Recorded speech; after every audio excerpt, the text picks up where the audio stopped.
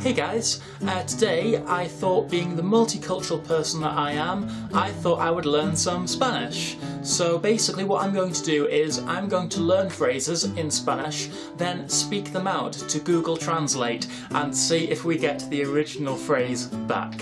I'm doubting that we will. Fingers crossed. So I've translated all of the English phrases I've come up with into Spanish via Google Translate, so already they are probably wrong. Now I'm going to speak it into the Spanish section and translate back to English, and hopefully we'll have some results. I doubt it. Perdone, he visto a mi burro. You made me my dog. Dirty cow.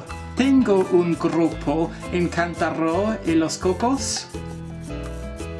I have a happy trick coconuts. That kind of worked! Hooray! Frote el estómago y me dicen que soy hermosa. Root a stomach and tell me I am beautiful. That's pretty close. I'll go with that. Mi pene está demasiado cogido. My penis is way too little. That's not right.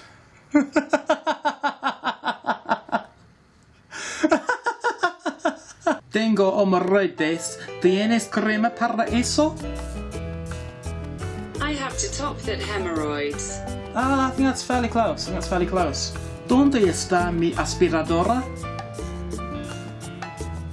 Nonsense can be vacuum cleaner. Alright, fair enough, love. Ella lame los relojes durante todo el día. She licks watches all Oh day. yeah, I got that one. Give me my ticket to Spain right now. Mi tío le gusta jugar conmigo. My uncle likes to play with me. No comment.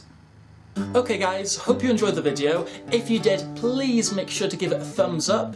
If you really liked the video, which I'm sure you did, please make sure to both comment and subscribe to this channel. You can subscribe to my channel Cook the Ant up there, in that little box I'm pointing to.